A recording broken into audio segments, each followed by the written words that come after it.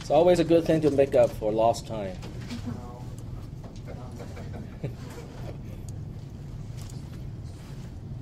I mean, you do want to get your twenty something dollars per unit's worth of education. That's that's important. Well, talking about education, that's you know I, I'm preloaded the screen with some uh, interesting news that I have um, dug up you know recently. So one is oh, this is this is an interesting one. You know, some of you may know this one already. Um, there's a web. I, I think this website Passmark. Does anyone know of Passmark as a program, as a software? No.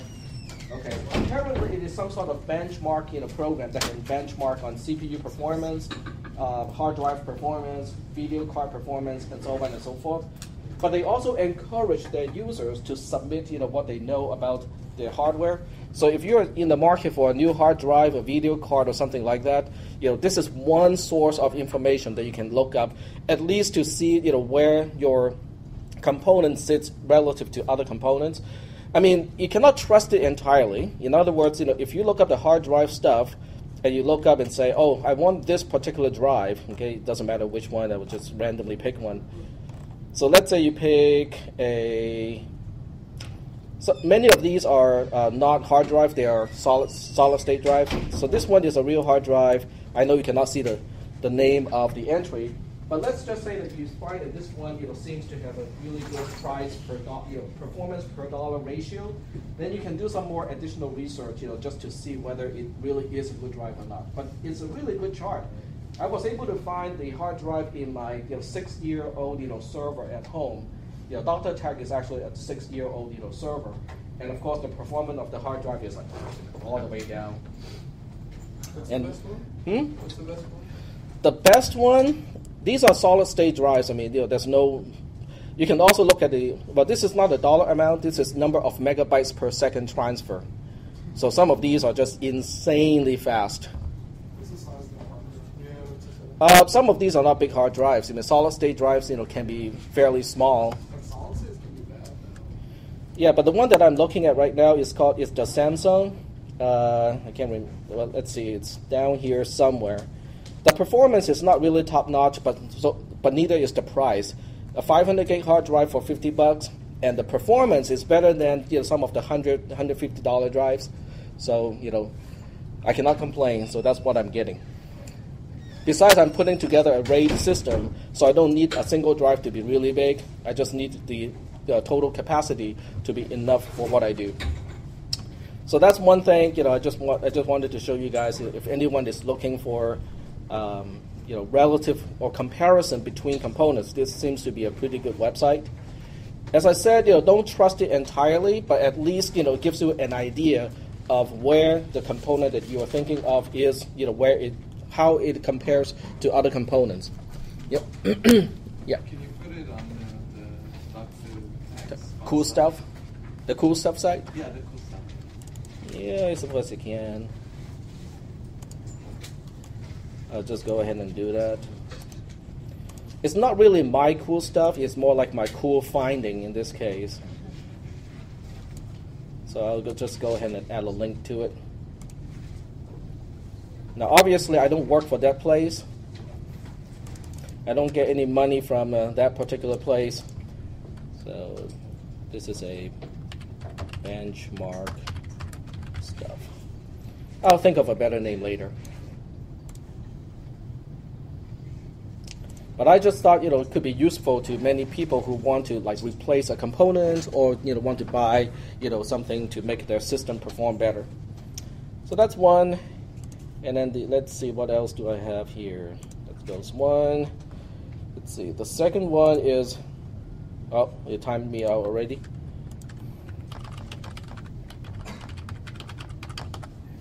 Okay, this one is kind of interesting too because it is more interesting from the perspective of you know it is open source and how hardware companies are now supporting open source. How many people run your own or know how to configure your own little residential router that you have at home? Okay. Now, how many how many of you you know thought it would be better if it is all Linux based so you can do some scripting and do some additional configuration? This is it. DD-WRT is an open source project to turn, you know, most, you know, not all, but some of the residential gateway can now be turned into quote unquote a Linux box.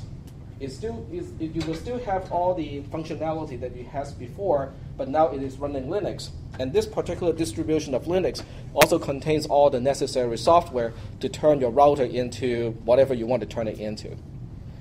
Uh, they even preload this, you know, into some routers that are being sold for 50 bucks. A wireless and router for 50 bucks has this software already preloaded. And the same device can be a router, can also be a switch, can also be a um, bridge. You know, can be a wireless to wired bridge.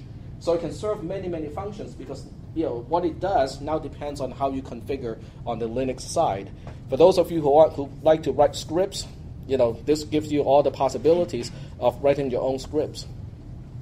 So I, I just thought it's kind of cool. It also kind of points out, you know, how um, the hardware community, you know, people making routers, are now accepting open source not only as a way of selling the product, but also as a way to make more profit. Can anyone tell me why they might be making more profit because of open source? You don't have to pay a license. Oh, yep. It's free to load it up on something and then sell it. And and it sells, and it, it is also free because if it is if it's not Linux, if they use any type of other embedded kernels, they actually have to pay a per copy license per device.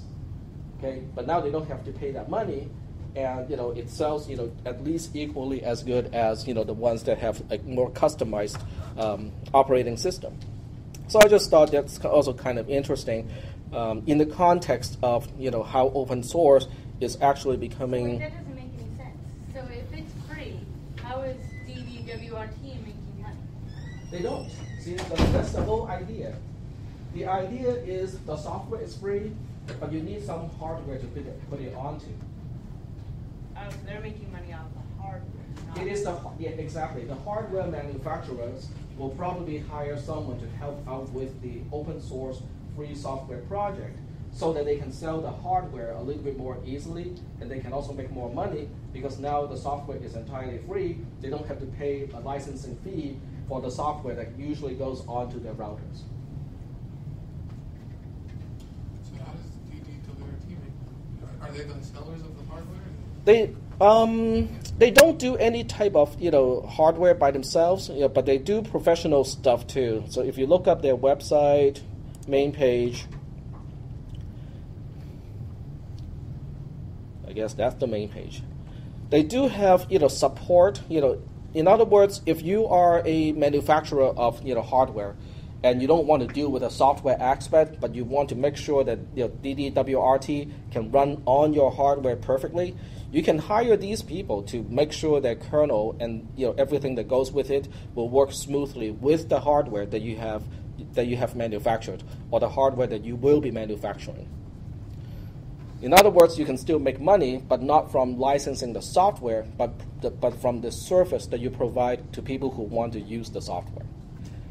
Now, for people who want to just do some experimentation at home and don't really mind if their router goes down, you know, well, they don't have to pay a single dime. They can just load this onto the router and play with it. But it does open up all kinds of possibilities because what it does is it turns your router into a Linux box. Basically, that's what it does. So it depends on what you want to specify to be on that distribution, and that is entirely up to you. So they can have you know all kinds of you know firewall software, all kinds of uh, routing you know mechanisms you know built into the same router that you think is just a residential gateway, but now it can be actually a fairly sophisticated network device. Any questions about this one? Comments? I can give you guys more feedback later because I just ordered one. For 50 bucks, I mean, you know, a wireless and router, you know, I'm still, you know, using wireless G at home, so I'm really on the slow side of things. All right, so that's another one, and then there's a third one. The third one is actually even more interesting. It is this one here, and I don't know why it keeps timing me out. Okay, so this one is definitely related to this class. I'm just bumping up the font size a few times. Okay, so here we have um, this person is a um, professor at the University of Illinois. I think it's uh, one of the main campuses of uh, UC. I mean UI in this case. And the conclusion, if I just skip all the way to the end, da, da, da. The whole point of the article is math is not important to most people.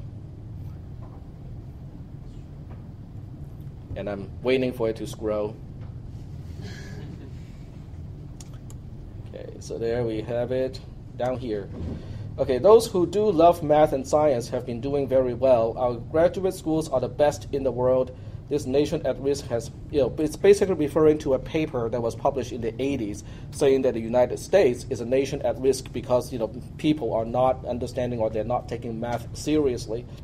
Has, pro- has produced about 140 Nobel laureates since uh, 1983. Well, the question is how many of those are, you know, you know, first or second generation, you know, from another country, and how many of those, you know, are quote unquote more native. As for the rest, there's no obligation to love math any more than grammar, composition, curfew, or washing up after dinner. Why create a need to make it palatable to all and spend taxpayers' money on pointless endeavors without demonstrable results or accountability? Blah, blah, blah, blah, blah. So basically, the whole point is, you know, we don't need to know that much math. The average person does not need to know that much math. Now, I would disagree, okay? And I can show you guys why I disagree. I would just go back to what I wrote about this. You know, just and it kept timing out.